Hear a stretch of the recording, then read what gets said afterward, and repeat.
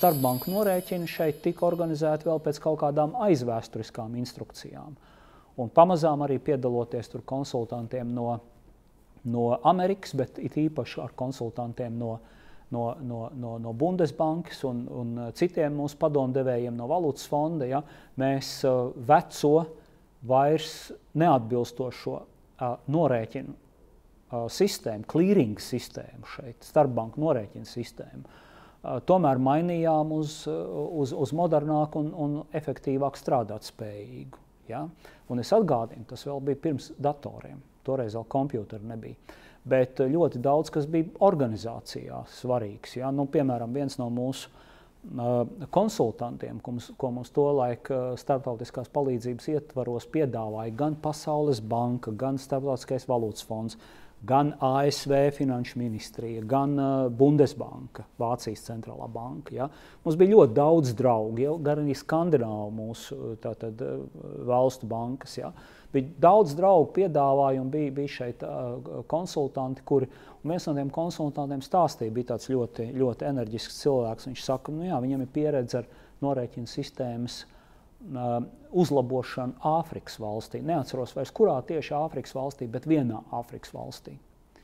Un viņš, viņš teica precīzi, tā, ka viņš ķērās šeit pie, kopā ar mums pie, pie vietējās clearing sistēmas, banku norēķina sistēmas modernizācijas.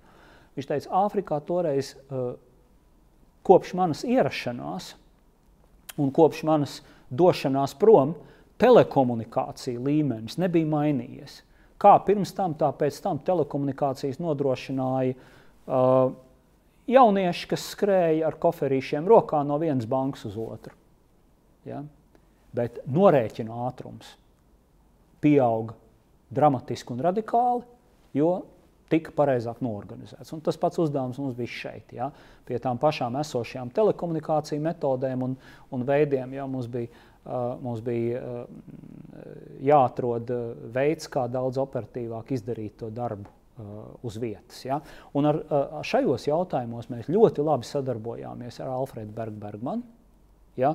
Arī ar citiem cilvēkiem mums nu, nāca, nu, vadība nāca, pārvalžu vadītāji nāca pie mums uh, uz apspriedēm, operatīvām apspriedēm katru dienu, ko darīt ar kādu mini vai, vai lielāku krīzīti, kā organizēt darbu.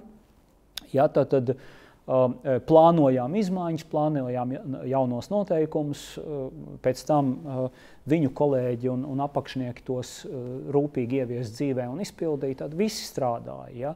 Bet, nu, protams, Bergs Bergmans, Antonijs Silenietis, mūsu galvenā grāmatvede, arī ar ko es ļoti labi sapratos. Ja. Antonijs Silenietis bija ļoti, ļoti apģērbīga, ļoti gaiša, gaiša kundze. Um, lai viņai ir laba veselība. Un, uh, viņa bija arī atvērta jaunām idejām. Bieži vien tas mans savukārt dialogs ar, ar Antoniju Silenietu bija, ka kādu pusstundu viņa man skaidroja, kā lietas notiek pat labāk. Ja? Tad, tad pārņemot nu, visus tos principus un, un, un darbības modeli, kāds bija padomi laikā. Tad, kad es to sapratu, es savukārt biju vairāk lasījis uz priekšu, ja, ekonomikas komisijā un citur pasaules tātad, avotus, jo tur Pauls Samuelsona grāmatas un, un tam līdzīgi, ja zināju šo, šo un to, kā tas notiek savukārt tirgus ekonomikas valstīs. Ja. Un tad es savukārt pusstundu mēģināju viņai stāstīt, uz kuru nu, uz ko mums būtu jāiet tagad. Ja? Mēs esam tagad šādā režīmā, mums jāiet, jāmainās uz to. Un aptuveni pēc kādas pusstundas, vai nu, reizēm īsāk, reizēm garāk, kā nu es prātu paskaidrot, Pēkšņi viņi saka, es saprotu, tagad man ir skaidrs. Un tad viņi aizgāja un nākamajā dienā jau nāca ar gataviem dokumentiem, izgrozītām instrukcijām. Ja? Un tas man bija ļoti svarīgi, ja?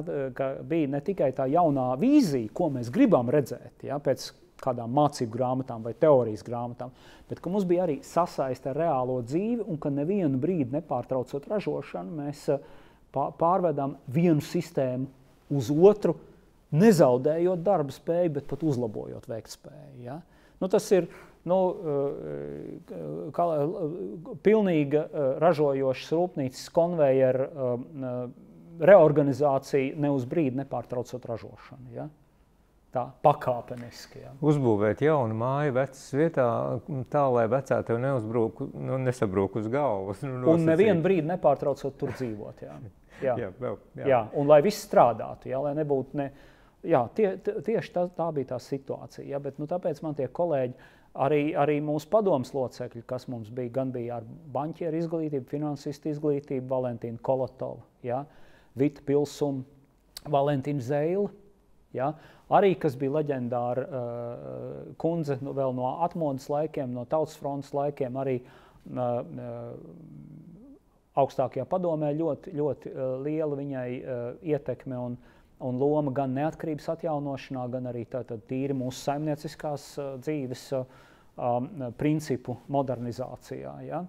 Uh, un arī bija Latvijas bankas padomas loceklis ilgadīgs un, un arī uh, tātad uh, palīdzēja šīs lietas risināt, bet man bankas padomē bija uh, apzināti ne tikai uh, ar bankām un finansēm saistīti cilvēki. Ja?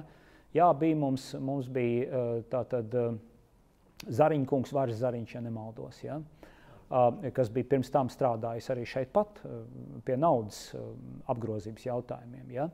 Bet tad mums bija Harijs Bušs, kas bija fiziķis, kas bija datorspeciālists, kurš um, strādāja tajā laikā ar pirmajiem komputeriem. Šeit, Silavā, ja? man liekas. Viņš strādāja Silavā, viņš strādāja fizikas institūtā, viņš bija strādājis universitātē pie, jo tolaik jau, nu, kā lai saka, personālie komputeri vēl vispār kā suga nebija izgudroti. Ja, bija liel, lielie IBM mainframe, kas uh, pie mums saucās PSRS ražot JS 10, 10, 22 uh, datori, kas bija Nu, tā, tad, tas, kas nu, īstenībā modernais telefons jau daudzkārt pārspēja to, kas pirms jau, desmit jā. gadiem bija mūsu kabatā. To, to, to laiku fizikas institūtā bija pa divām zālēm. Ja? Um, bet nu, bija cilvēki, kas to, lai, to laiku jau, un, un viens no tādiem bija Harijs Bušs, padomus loceklis, bankas padomus loceklis, ko es uzaicināju, kurš saprata, ka datoram ir jābūt personālam datoram. Un, uh, Ja, ja tolaik, eh, lai, lai kāds saprastu, kā strādāja programmētāji un datori eh, fizikas institūtā, piemēram, ja, tad datoram klāt eh, normāls milstīgais laists netika. Viņš savu programmu uz perfokartēm, seniori atcerēsies, kas tas tāds. Ja? Tās bija papīra kartes standartizētas, kurā bija izkniepti caurumi vajadzīgās vietās, kurus milzīgā ātrumā iebaroja datorā un no to cauruma atrašanās vietām, sākumā ar elektriskiem kontaktiem, pēc tam optiski, um, jau modernākie, ja, nolasīja programmu un tālāk dators veids kalkulāciju, ko izdrukāja pēc tam uz, uz papīra lentes. Ja. Cilvēks atnesa un pa lodziņu padeva laborantēm savu programmu, pagaidīja, pēc pāris stundām saņēma atpakaļ papīra lenti pa to pašu lodziņu, aizgāja studēja šo papīra lenti, izdruka tā saucamo, vai viņa programma ir strādājusi tā, kā viņš bija iecerējis. Ja nē, tad kur ir kļūda? Ja? Nu, tā cilvēks strādāja ar datoru, bet Harijs Bušs jau toreiz saprata, ka nē, nu, datoram jābūt tādam, ka tu viņam pieeja klāt, ieslēdz viņu. Ja? Un pats viņu apkalpo. Un vienīgais, kad uh, viņš varēja tikt šādā režīmā klāt pie ierobežotajām datorstundām, bija pa naktīm. Līdz ar to, tad, kad normālais fizikas institūta darba režīms bija pa dienu, bija pārtraukts un visi bija devušies mājās pa naktīm vai pa brīvdienām, Harijs Bušs un viņa komanda jā, tur uh, gāja un uh, saimniekoja uh, mašīnu zālē. Gluži tāpat kā šodien mēs ar savu privāto datoru. Ja? Tad, tad paši liekam diskus iekšā, paši programmējam, paši sēžam pie pie monitora, ja, bet toreiz to varēja tikai pa svētku dienām un pa naktīm. Ja. Un man bija tā laime, kā viņa uh, studentam, skolniekam būt klāt tur kopā ar citiem uh, programmētājiem, ko viņš bija apmācījis vai kas paši bija apmācījušies. Un, un to laiku mēs, mēs savukārt lauzāmies tur jaunos pilnīgi lauciņos. Un es gribēju, lai, lai, lai uh, modernās Latvijas bankas padomē ir arī cilvēki ar kādu tehnisku izglītību, uh, un mazliet plašāku redzes loku. Jā. Vai arī ekonomiskā analīzē faktiski nonāk šī jauda, datorjauda nosacīta? Nu, ja? Šodien mēs tur vien esam, ja, mm -hmm. ja mēs runājam par visiem ekonomiskiem modeļiem. Ja?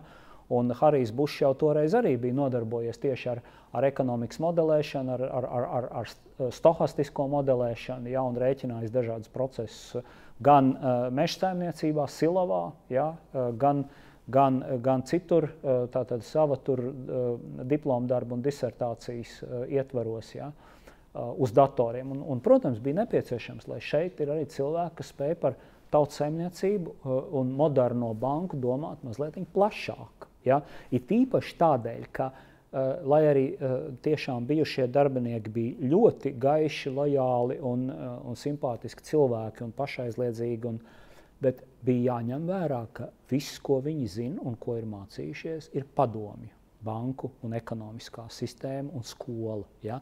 Tā kā mums vajadzēja tomēr kaut kādu mazliet arī, arī uh, skatu no malas. Un tas arī bija viens no galvenajiem iemesliem, kāpēc es savā laikā uzrunāju Brunu Rubesu, ja, kurš bija ļoti pazīstams uh, trimdas dzīvē, latviešu trimdas dzīvē, kurš bija pazīstams kā Volkswagen stratēģijas šefs, kurš bija ļoti sekmīgi visu savu mūžu dzīvojis savukārt un strādājis tajā rietumu pasaulē, kuri bija radījuši tādus brīnumus kā dators, Mercedes un, un, un, un, un citas apbrīnojamas lietas. Ja? Un, un, un to, to laiku, protams, neatkarības eh, tātad gaidās, un jau pirmajos gados viņš bija bies, biežs viesis Latvijā. Un vienā tikšanās reizē es, es viņu uzrunāju, vai viņš arī nevēlētos ieņemt šo posteni un, un savu pieredzi un zināšanas dot arī Latvijas bankai. Viņš to pēc īsa pārdomu mirkļa ar lielu prieku pieņēma Un tālāk arī ļoti daudz jaunas, interesantas lietas mūsu dzīvē ienes. Viens, ko viņš tiešām uh, ierosināja, uh, kopš stājās šajā Latvijas Bankas padomus locekļa amatā, bija, ka ieviest to uh, rietumu diskusiju kultūru un principus uh, šeit mūsu dzīvē. Ja? Nu, pirmām kārtām, un, un, un to, to jau vairāki uh, kolēģi, arī konsultanti uh, pamanīja, ka Latvijas bankā es strādāju pēc principa, eh, visi zina visu. Nu, ir divi principi. Tātad, vai nu katrs zina tikai to, kas minimāli nepieciešams, un neko vairāk. Un tas pamatā ir tādās iestādēs, kas ir militāras iestādes ar drošības jautājumiem, iestādes ar tehnoloģijas kaut kādiem drošības jautājumiem saistītas iestādes, kur ir jāuzmanās no, no spiegošanas. Tur varbūt tas ir attaisnojami. Ja? Bet, protams, šāda slēgta kultūra, kad katrs zina tikai savu ļoti, ļoti šauru lauciņu un neviens ne par ko nav informēts, ja, nu, tas nav īsti labi. Eh, tādai ideja apmaiņai un, un, un kopējai varbūt eh, noskaņai kolektīvā. Tad es Latvijas bankā mēģināju veidot pavisam citu uh, atmosfēru, uh, proti, ka visi drīkst zināt visu, visi var piedalīties gandrīz jebkurās mūsu vadības apspriedēs. Ja? Nu, ne visiem tiek dot iespēja balsot, ne visiem varbūt tiek dot iespēja izteikties, ja? bet visi var piedalīties uh, un klausīties līdzi, kas notiek. Ja? Ko arī daudz kolēģi tiešām izmantoja. Mums bieži vien uh, mūsu uh, sapulcēs un sēdēs sēdēja cilvēki, kas vienkārši klausījās ar lielu interesi kas te notiek, jo tas kaut kādā veidā arī atstāja ietekmi uz viņu darāmo darbu. Un, un tad visi zina visu. Nu, es šo pieeju mēģināju arī vēlāk valdībā īstenot, ja, kur tas nestrādāja vairs tik labi. Ja. Toreiz man bija tāda naiva ideja, ka, ja mēs žurnālistus pielaidīsim valdes, valdības sēdēs, tad tas būs ļoti labi, jo viņi varēs precīzāk un kompetentāk komentēt notiekošos procesus. Ja. Nu, cita saruna, cits jautājums, kāpēc tur tas galīgi nestrādāja. Ja, jo nu, tur, tur aizgāja sensācija mednieki un, un klikšķi mednieki. Ja, tā tad eh, vairāk eh, tādā režīmā. Bet uh, Latvijas bankā uh, mums te neviens nekādas sensācijas nekur nemeklēja, uh, un šis princips visi zina visu. Ja, ļoti labi strādāja. Un, protams, Brunis Rubes viņu vēl sekmīgi papildināja. Uh, viņš bija tas, kas uzreiz arī uh, ierosināja mums tā saucamās shirt sleeves sapulces noturēt. Ja? Pēc Volkswagen, BMW un citu vadošo rietumu uh, uzņēmumu parauga, kur ir stipri nodalāmas sēdes, kurās formāli pieņem kaut kādas lēmumus, kas jau ir sagatavoti. Ja? Un tagad mēs viņus pieņemam, tur nobalsojam, ieprotokolējam. Ja? Tātad starpības starp šādām sēdēm un tām sēdēm, kur šie lēmumi un idejas tiek vispār veidoti, diskutēti, attīstīti. Ja? Kur burtiski tāpēc shortslīvs, ka visi novelk žaketes, uzrot piedurknes, ja? gandrīz vairs nav hierarhijas, ja? drīkst diezgan brīvi runāt. Ja? Un, un sēž vienkārši brīvi ap galdu visa bankas vadība. Ja? Un, un, un, un, un spriež par dažām idejām, kā attīstīties tālāk. Ja? Un, protams, arī šādas sēdes ir jāvada, ja, lai viņas nepārvēršas par haosu. Nu, Brunis Rubes tad, uh, arī iepazīstināja mūs ar, ar, ar pieredzi, kā tas ir uh, rietumu pasaulē, kā tas tiek darīts, ja, un, un uh, kā šīs sēdes tiek organizētas, vadītas. Mums bija bieži mēs tādas nevarējām atļauties taisīt, bet uh, laikam reizi mēnesī mēs rīkojām šādas, un tad tur gāja cauri pa visiem aktuālajiem reformu uh, politikas jautājumiem vai darba jautājumiem. Ja. Uh, un tas bija viens no ļoti konkrētiem bruņu rubes pienesumiem. Nu, un otrs bruņu rubes bērns un pienesums ir Latvijas bankas jubilejas monētu programma.